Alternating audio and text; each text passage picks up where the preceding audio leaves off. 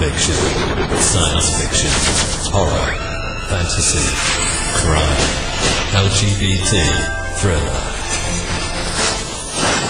You have now entered the House of Mystery with your hosts, Eric Shapiro, David North Martino, John Copenhaver, and Al Warren. Heard on MCAO 106.5 FM Los Angeles 102.3 FM Riverside. and 105.0 AM Palm Springs.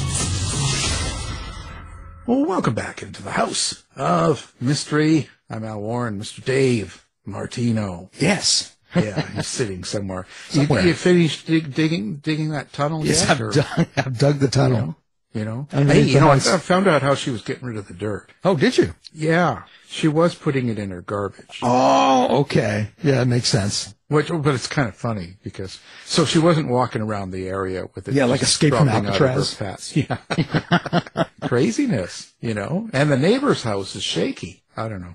Oh no, she's taking down more than one house. Yeah, she's she's Oh, no. uh, she's causing trouble. But she started a whole trend. So, but you you have a job to do. Get it done. Yes. Yeah. I got a small little metal shovel and Yeah, we're running out of time. Twenty four. that's right. Gonna go hide. it.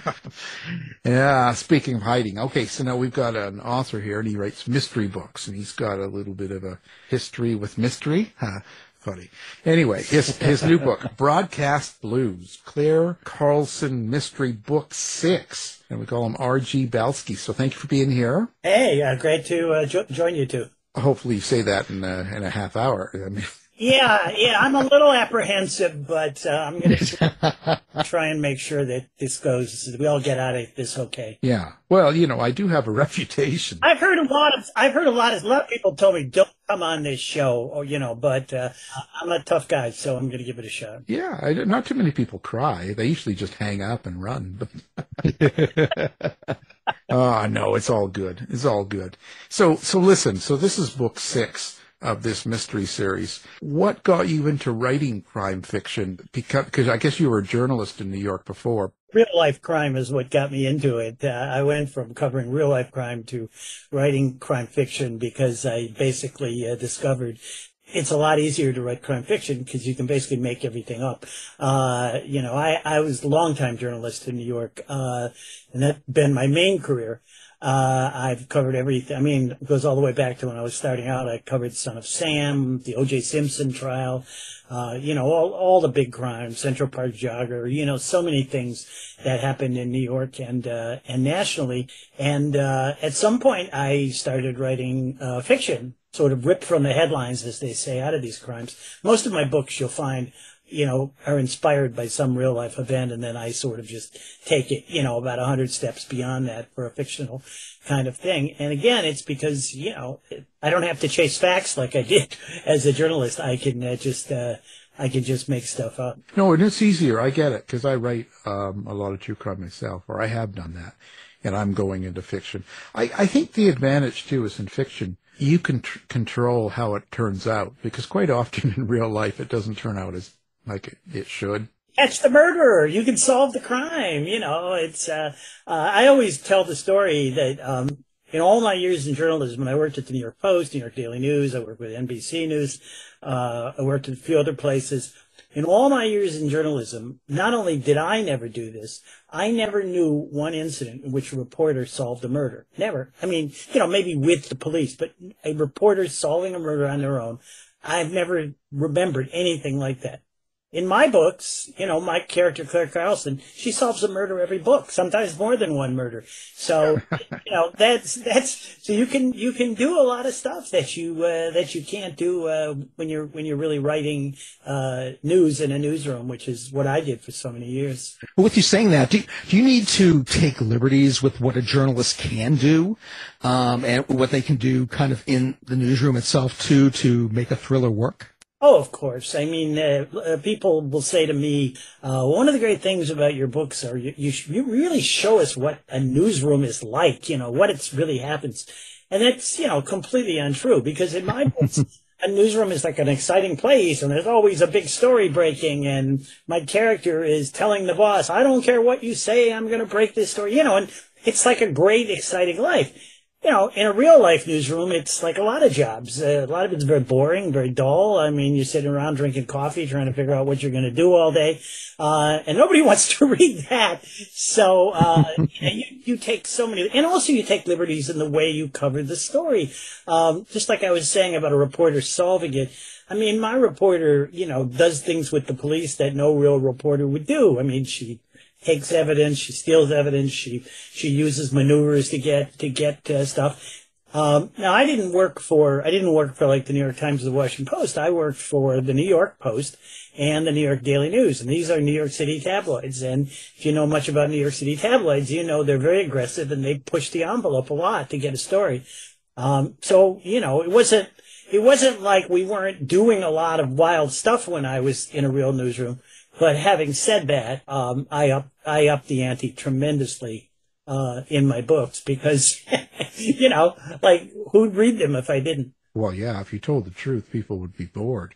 They'd much rather get into a conspiracy too. I mean, uh, people really don't have a clue of what goes on in studios and and um, and you know newspaper places and magazines. They sort of have that ideal that everything's all excitement and running around and Also, um, one of the things that I find, and, and a lot of this I think came from back in the days of, you know, All the President's Men, which inspired many people in journalism. It's like that journalism is this, which it is in many ways, is a very noble profession, and that you're you're trying to make the world a better place, and you know, to a degree, you are.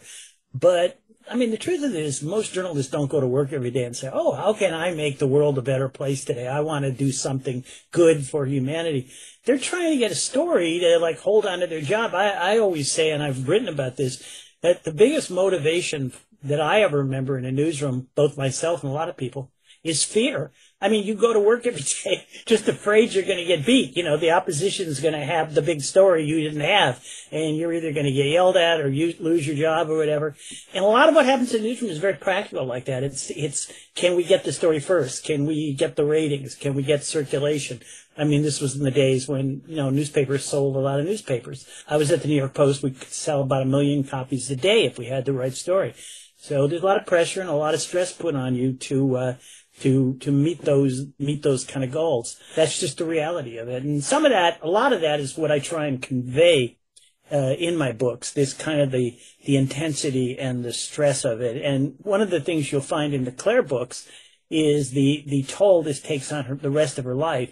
Um, I always basically say that you know Clare's a terrific journalist and a great kind of leader in a newsroom, and she does her job great but her personal life's a train wreck. I mean, divorces, bad romances, bad decisions, because you know it's very hard to do it all, and and something suffers. And I just know a lot of people like Clare who get so caught up in the media uh, pressures um, that they have to sacrifice other parts of their life. So those are a big part of what goes on in my books too. People forget that they're real human beings, but like like your journalist Clare Carlson is she's a real human, just like all the others. Like when you're working, you're a real human. You got your relationships, your life, your house, your parents, kids, whatever. There's Well, like I said, I think I think I really work on that a lot in my books. Um, my books operate on the theory, and you know, not all not all books do this.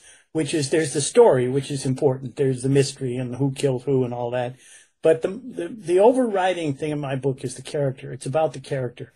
Um, I care more about the character actually than I even do about the story. I think my stories are pretty good, but if I don't have the Clare character right, um, then I don't think I, I, I have a good book. And that's just based on, you know, what started me writing. What would I read? I would read, you know, Raymond Chandler and Philip Marlowe or Ro- or Robert Parker and Spenser, Michael Connelly and Harry Bosch, uh, uh, Sue Grafton and Kinsey Millhone. And it was always the character that brought me back. You know, it wasn't the story. So, um, it's, it's, I've tried to create Clare as a real human being and, and to do that, of course, one of the most important things you have to do in any character is to give them flaws. Uh, and you know, she's a very flawed character. Um, so you have to give them enough flaws that people can relate to them and say, yeah, you know, that's just like me. I have that same problem. But on the other hand, you don't want to make them so flawed that they're, uh, they're unlikable. So that, that that's a that sometimes is a tough balance to uh, to reach. Who is Clare Carlson then? How would you describe her? Uh, she is a woman who started out as a newspaper reporter and actually won a Pulitzer when she was very young. Uh, she uh, wound up going into TV work when all the newspapers started fading, but her her her principles and her heart is still in newspapers. So even though she's in TV, and that's very much sort of like what I went through in a career because I spent most of my life in newspapers and then wound up in TV news at the end. And even though it can be very exciting, uh, you still always feel, well, like newspapers are purer in terms of like the journalism. And so Clare brings a lot of those values to a TV newsroom, which aren't always welcomed by the people in charge because they're looking for the ratings and the, ad, and the ad revenue and, and they don't care as much sometimes about the journalism. Uh, she's, uh, at this point in the series, she is, in her late 40s. Uh, so, you know, she's not a kid anymore, which I think adds to some of the things you can deal with her in terms of what her anxieties and stuff are, especially with the idea of a woman uh, growing older in the media, which can be tough, as I'm sure you understand. Um, and one of the focuses of this book is she has her 50th birthday coming up. And, you know, it's really kind of bothering her a lot, both on a personal level, like where's my life, and uh, on a professional level, like you know what's going to happen to me as I get older. And she keeps looking to some of the other women, uh, you know, like Gayle King and Diane Sawyer and people like that who are older in TV news and have still managed to, you know, survive um, as a kind of an inspiration. So, uh, but that's that's who she is, and you know, I think she, you know, I've written her as somebody. I always say she's somebody I would like to hang out with. You know, I, I think she's fun and interesting. But then, why would I write a character that I didn't think was interesting?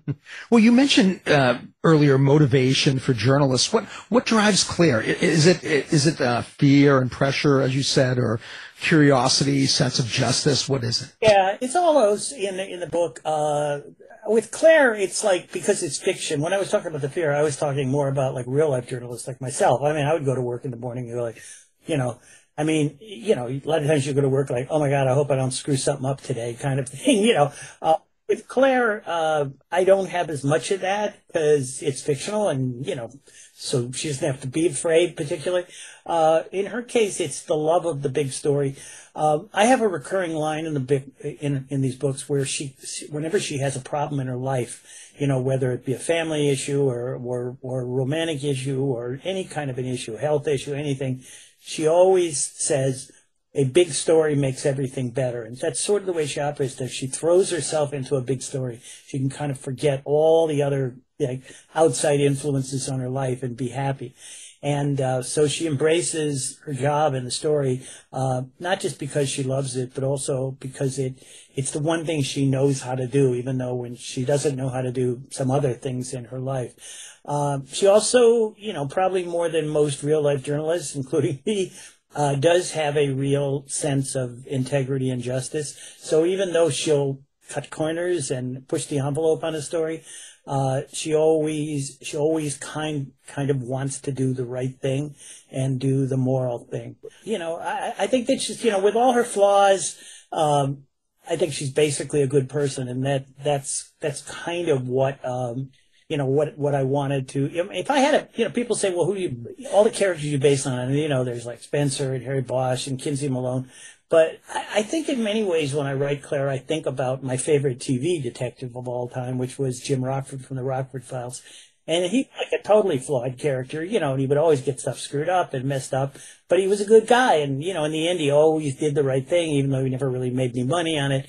And you know, I watched those for years, and and I just feel a lot of times I'm running Clare, I can feel a little of the Rockford Files in my mind, and and see her in that kind of a in that kind of a role. Well, how do you describe your relationship with Clare then? Like when you're writing uh, that character, do you hear her voice? Do you see her like a movie? What kind? How do you tackle the dialogue? Yeah, I love writing dialogue. I, I don't particularly like writing descriptions, so my books are very dialogue heavy. Um, it's uh, I think it's something I'm good at. Uh, one of the reasons is that uh, I I like listening to other people dialogue around me. So one of the one of the ways I write books, and this is pretty unusual for an author, I don't sit in my house or in an office or in a library, even somewhere in a quiet place working on a book. I like to work with people talking all around me. And I think, I'm sure this comes from the fact that I spent so many years working in a newsroom where people were screaming and yelling and throwing phones and typewriters and computers and stuff everywhere. Um, so when I write, I, I, literally every day I go to the house, go to the house and I go somewhere. I either go to like a, a coffee shop. I've written, yeah, I read a lot in coffee shops. Uh, I've written on, you know, the beach. I've written in parks. I write, I've written in, in bars. I've written on subway trains. I like to, you know, I write it out longhand and later I come back and I, and I type it up on the computer or whatever. I, I like that energy of people around me and I sort of, I think I, I absorb some of the inflection of what people are saying. And I just think it helps make Clare's dialogue uh, good. You know, one of the things, the positive things that I generally get from the books is almost everybody always says, you know, like the, the back and forth and the dialogue and the banter is is really good and really you know realistic or whatever. You know, it's not really realistic, but um, you know, and and and that's fun. And it's fun to write Clare's, you know, like to to write that kind of stuff for Clare because she she basically has this big mouth, will say anything to anybody. She doesn't really have a filter on her mouth. And it's like, uh, I always think, even though she's not really like that, I always think of like the Larry David show, Curb Your Enthusiasm, where he says all these outrageous things to people that, you know, none of us would ever say, but it's funny because, you know, he's, he's doing it. And, and I think there, I do think that there is a, um, and a lot of us just wish we could do that. Uh, uh, I, I, once, uh, Robert Parker once said about Spenser that one of the appeals of Spenser is that he says he says the things to people that we all want to say to somebody, but we don't think of it till after we've left and we said, I should have said that. Well, Spenser says it at the moment. And I think I try and get Clare to do that too. And it's fun. You know, it's fun to do it when she tells her boss, you know, some, you know, some smart, smart remark that none of us would ever tell our bosses or something, or, or has some flippant remark to, you know, about a boyfriend or something. And, um, and I think it's interesting. But yeah, it's fun to write. I I I, I enjoy it, and uh, I guess I get to live a little vicariously through through Clare. Gee, I live my life that way.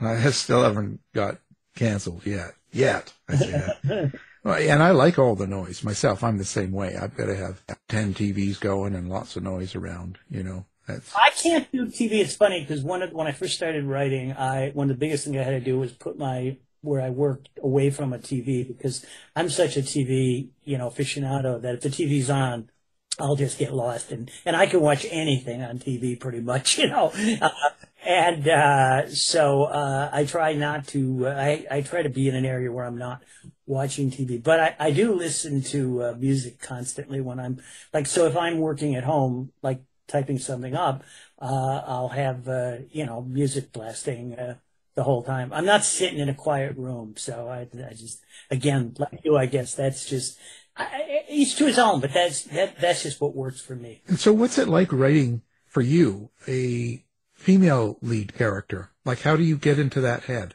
Well, I was waiting for that question because that's the question. well, I have to ask it because if I don't, you know, everybody thinks that, uh, everybody thinks about a lot of these things that they're, they're, they're always a well thought out plan, you know, and I like to convey that somehow. Oh yeah, you know, I did research and I found that if I wrote this that, most of what you do in life or in the books, but just like in life, it just, it just happens for reasons.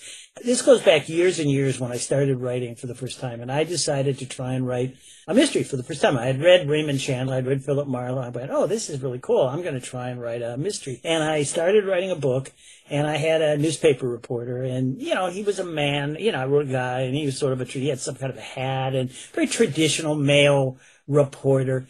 And, um, I showed it to a woman friend of mine who was actually in publishing and she was like, "Oh, you know, this is this is good. This is it's really good. It's good." But she said, "You know, just reading it, like you know, it reads like a lot of other. Like, wouldn't it be more interesting if you made the reporter a woman instead of a man?"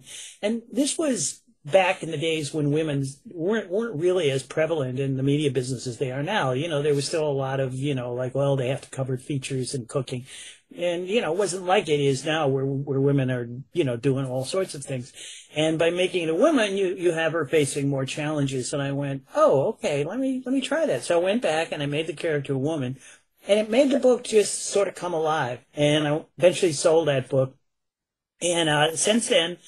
I have done uh, well. This will be this book that just came out, Broadcast Blues, which is the uh, which is the one I'm trying to sell. But I don't know if I've said the title, but it's Broadcast Blues, people. And uh, uh Broadcast Blues uh, uh, is the 21st book I've written, and I think about 15 of those have, have featured a female character, and I, I don't know exactly why. I did write a series with a male character before this, and you know that was fine.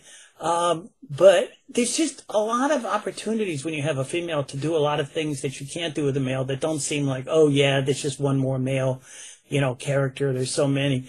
Um, and I, I, I, it just, in many ways, has just seemed more interesting.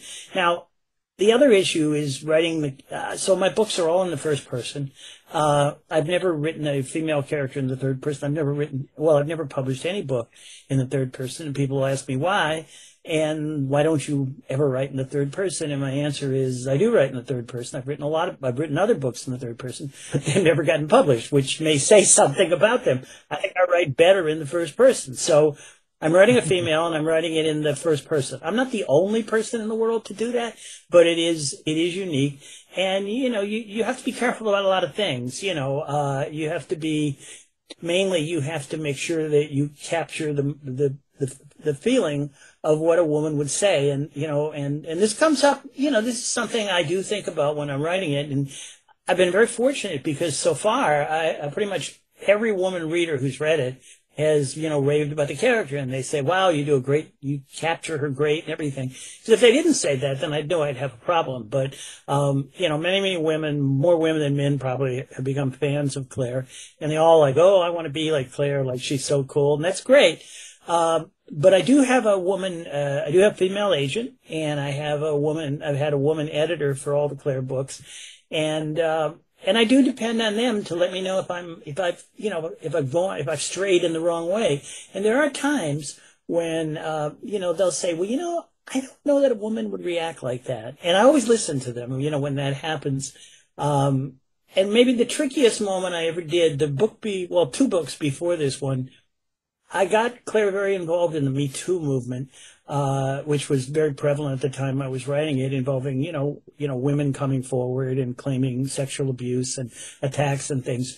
And uh, I was very concerned about that. That I handled that properly. And again, you know, the women who read it were all like very positive, like that it had been done, you know, well. So that's it. But again, it's not a well thought out plan. I mean, I don't set out saying, oh, I have to write a woman character. But when I write the books, um, it just always seems to work out better with a woman. So that's that's what I've been doing. That's interesting. Now, in your your series books, how do you keep track of uh, continuity? Do you, do you have a series Bible? Do you have tool no, systems? No, very badly. That's it. I'm I know I'm terrible like at a lot of those things. I'm terrible at doing research, at keeping track. Uh, oh, it's it it's it, it it it gets worse too with each book. So like if you write a book and then you write a second book in the series, well, you can sort of remember. I'm on my sixth book, you know, and um, I have made a few minor mistakes. I, I once went to a uh, a book signing event, and there was this woman who was this giant aficionado fan of the Clare books, and she said, "Well, I love the books, but um, in this book you got like I don't know, somebody's, well, actually, it was not Clare, it was another book, but you got the character's name wrong. And I said, no, no, it's right there. That's right. And she said, yeah, it's right in this book, but three books ago you called that person somebody else and you're like, oh my God. You know, like only one person would, but it's tough. And, uh, I, I constantly have to go back and, and check and make sure that there's a, there's, now all these books are standalones in the sense that you can read them without, you know, having read the previous ones, but you obviously make references to some of the of the earlier stuff.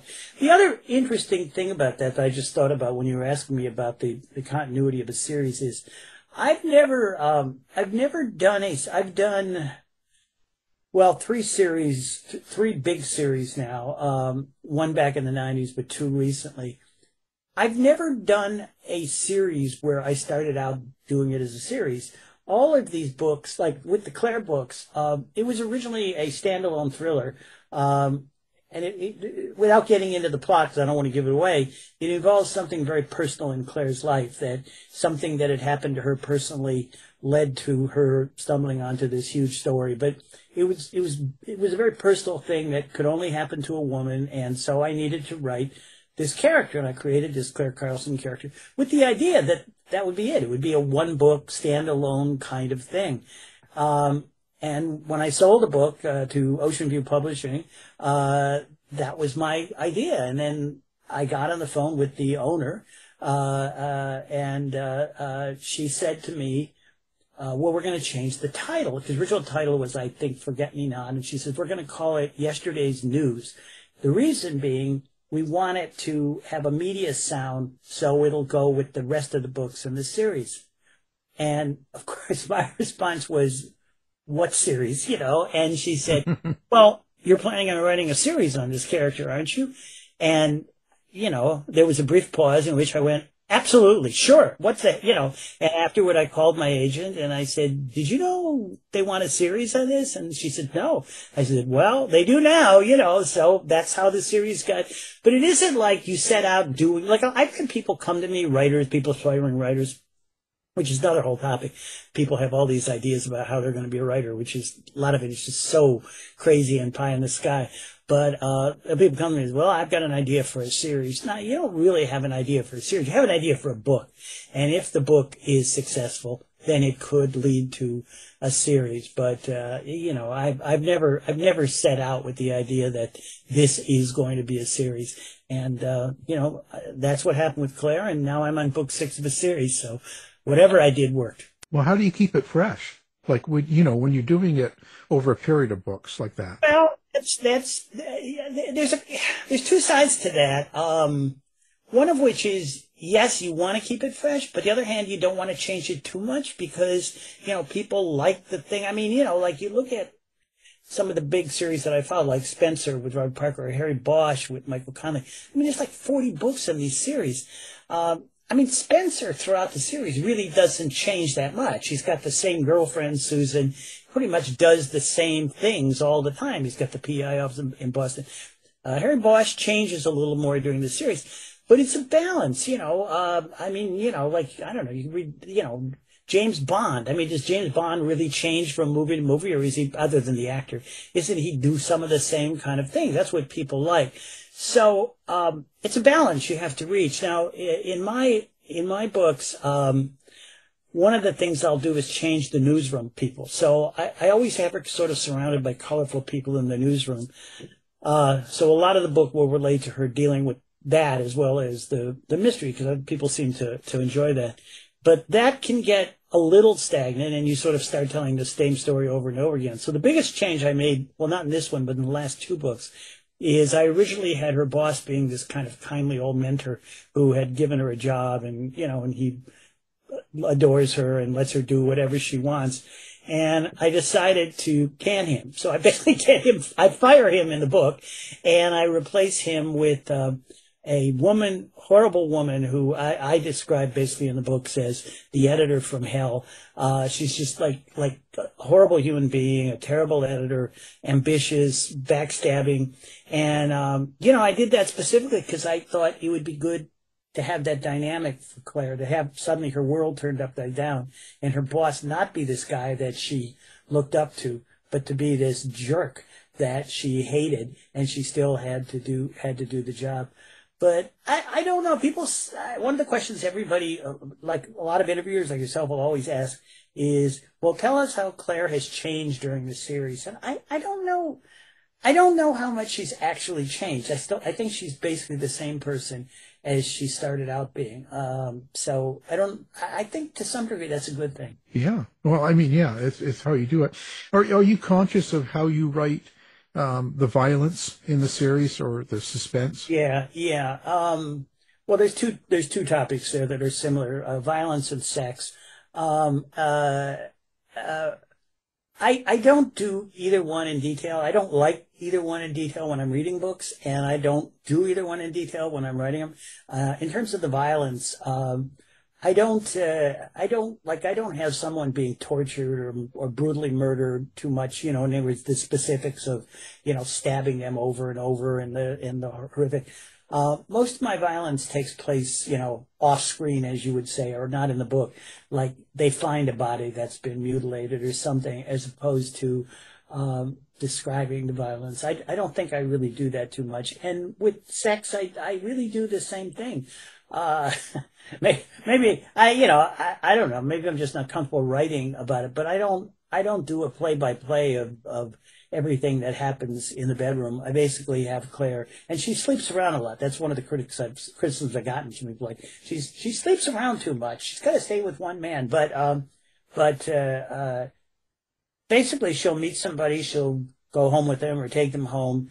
Um, they'll you know they'll have banter and everything and then they'll go to in the bedroom and then you know i generally will have them waking up the next morning after sex. Um, i don't give all the details. So uh, um, if you're looking for sex and violence you're probably not going to find them in my books. You'll find references to them but um, um and I, like i said i i just find that like when i'm reading like a thriller even by somebody really good and there's this horrific torture or somebody being held captive while terrible things are done to them.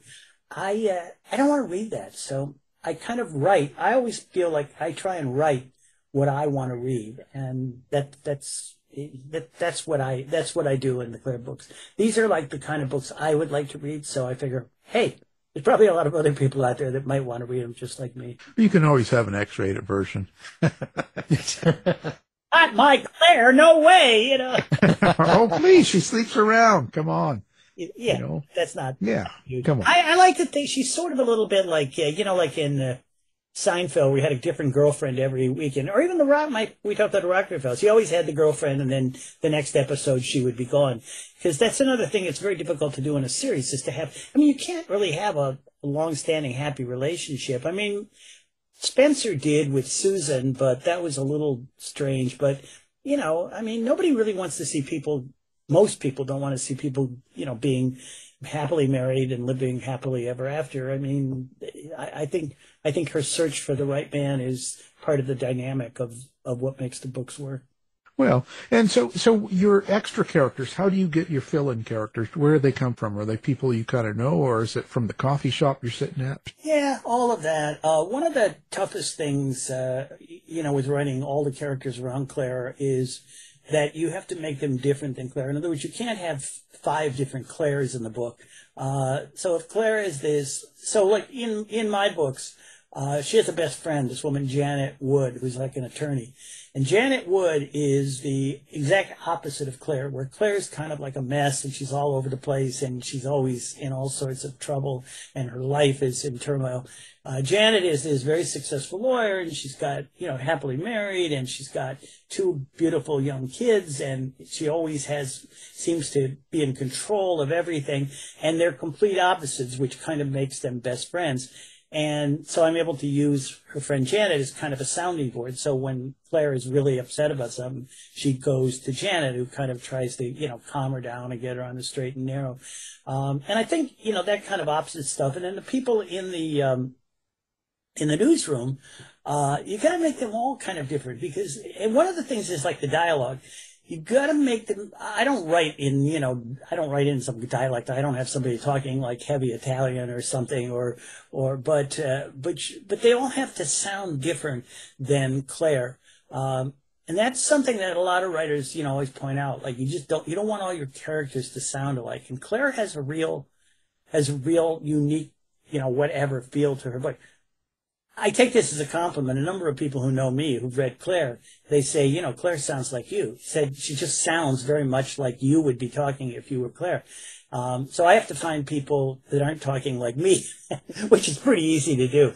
But uh, so I have a cast of characters, and you know, again, I, if I had to compare, I'm, I'm a TV aficionado. Um, you know, I, I think sometimes I try and, you know, create a, a kind of like a Mary Tyler Moore newsroom at, you know, at WJM and it used to be with, you know, Ted Knight and Murray and all the kind of wacky Betty White. Betty White, yeah, Sue Ann Nivens, uh, and you know, just that that Clare is surrounded by a lot of wacky people, and like in this book, you know, she's got a she's got a husband, she's got a a, a man and woman anchor team who left their who who left their own spouses to get married because they fell in love, and now they're getting divorced. So there's all romantic tension.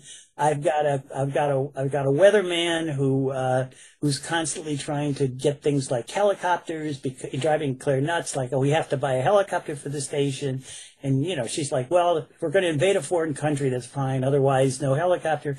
Uh, I've got a woman sports uh, caster that they brought on for you know, diversity reasons who decides she doesn't like to cover big sports like football, which drives Clare crazy because, you know, what is she, what is she there for? Um, and I, and I really try and have, and, and like I said, I have this boss from hell who drives Clare nuts every day.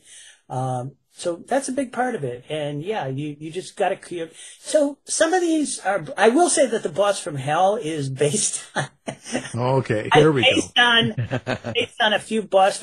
So I, 98% of all the bosses I work for have been great.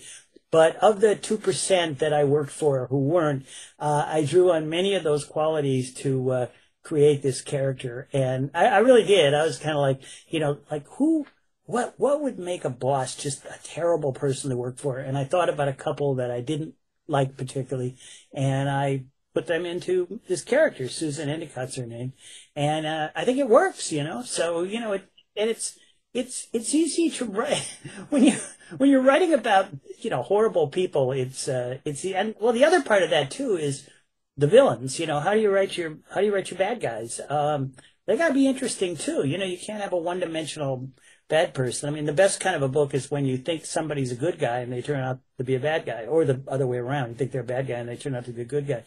Um, but th- that's a part of it too. You know, they, they, they, you, you just can't have the one dimensional murderer. Uh, there's got to be a lot more going on in, in, in the book. Yeah, you kind of got to explain where their heads at, why they do what they do, kind of, you know. But I want to get back to some names of bosses that you didn't like. We can get them on the line here and bring them on for a debate. Yeah, no, most of the, I've uh, I, uh, I I I worked with a lot of great people, and so I spent 13 years. Uh, and people are always amazed by this. I spent 13 years working with uh, Rupert Murdoch when he owned the New York Post, and uh, people will be, like, "Oh, wow, that must have been whatever," but you know. And I'm like, he was the best boss, you know, because he was actually in those days he was very hands on. He would come down to the newsroom and he would you know, he would like talk to us about headlines and stories. Best boss I ever worked for, you know, and, uh, you know, like now he's gone on to obviously be what he is, but, um, the wonderful, he, he was great. He was just, a, it was just, you know, and I spent, like I say, about a decade, more than a decade, uh, working with him. So it's not always the people that you think are, are going to be. And I, I really did work with a lot of, uh, a lot of, of good bosses. And if any of the people out there who were my bosses and think I'm talking about them, uh, then I was just kidding. I made I made up all the bad stuff. They're probably right.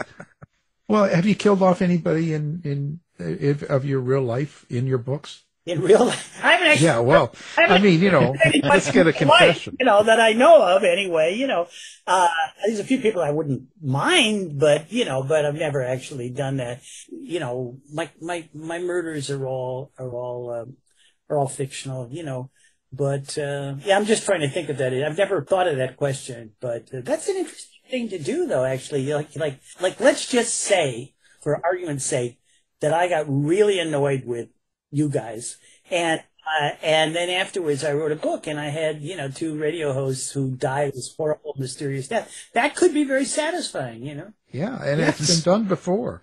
Yeah, and and make it painful yes. and long. well, like I said, I don't do a lot of detail about the violence. like I would have felt like, wow, they must have really, uh, really, uh, really suffered, you know. Well, just keep bringing it back each chapter. And I think he's still alive and suffering in the hospital. And then at the end, finally he dies, you know, something like that, right? You know, you know, you know, that it is true. Like in thinking about that, that there are most of the time when I've, when you kill a character, um, I don't know, it's not a character maybe you care about. It's like the, the, the person is murdered as a, as a tool to get the story done. So, you know, you have to have a murder victim or two or three or four. But, uh, sometimes, you know, like I've had, I've had characters, you know, where, uh, they've died and, you know, it actually makes you, you know, sometimes you, you think about telling them and you don't. Other times you have to, but then you're sort of sad that you do. The other thing along those lines that you know, we were talking about supporting characters. Sometimes when you're writing a book, uh, you'll write a character that you think is only one scene. And then that happened with this Janet Wood character I mentioned to you with, uh, with Clare. I mean, originally she was going to have like, she just needed to talk to someone. So, well, she'll have this friend and she'll talk to her.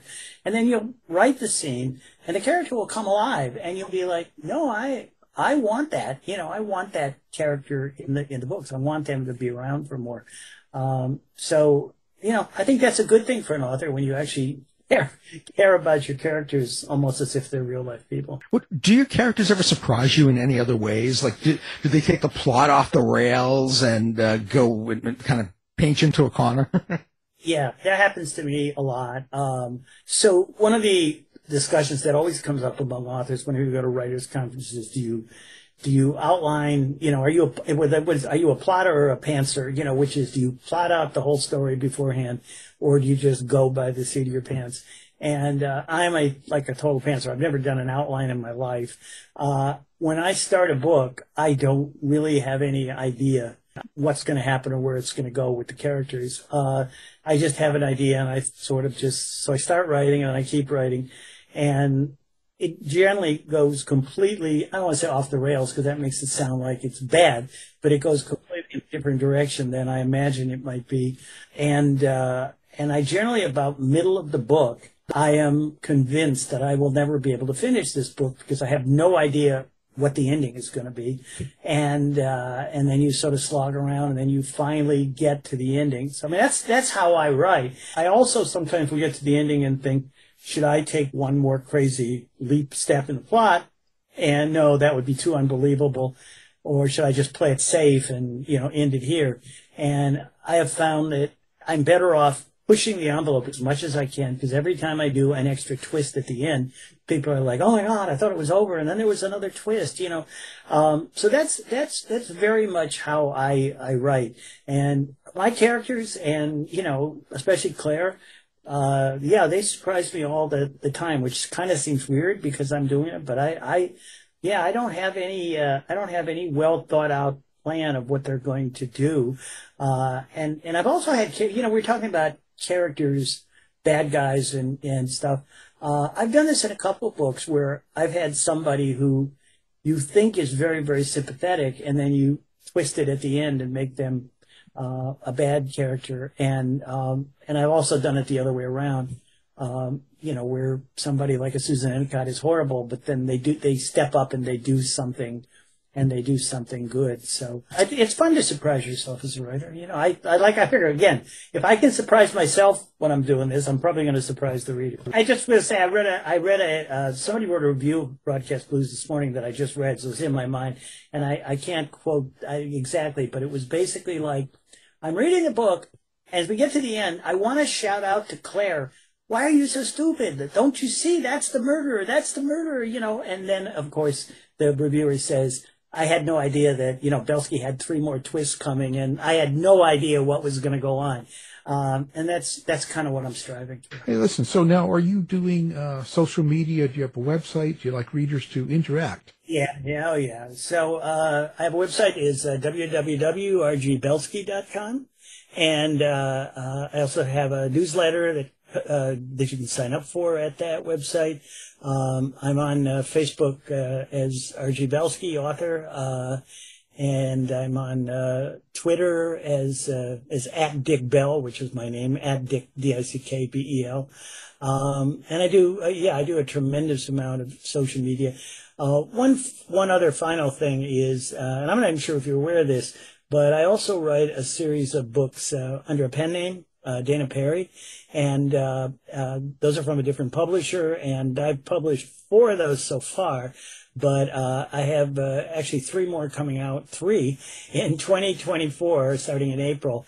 And uh, the first one's called The Nowhere Girls, and it, uh, surprisingly enough, again features a female. This is a female FBI agent as the main character. So uh, Dana Perry is the same as R.G. Belsky. So if you like R.G. Belsky books, check out Dana Perry too. Well, there you go. Now, we'll put all that up on our website, and we appreciate you being here. And, of course, the book we were talking about is Broadcast Blues. It's Clare Carlson's mystery, and it's book six. And the authors are Guest, R.G. Belsky. Thank you for being here. Thank you, and I'm glad uh, I'm glad we all got got through this. Okay, Thanks, RJ. bye bye. You've been listening to the House of Mystery radio show. To find out more about our guests, hosts, or shows, go to www.houseofmystery.com. Show's over for now. Was it as good for you as it was for me? Yeah. Good night. This has been a production of Something Weird Media. I'll be back.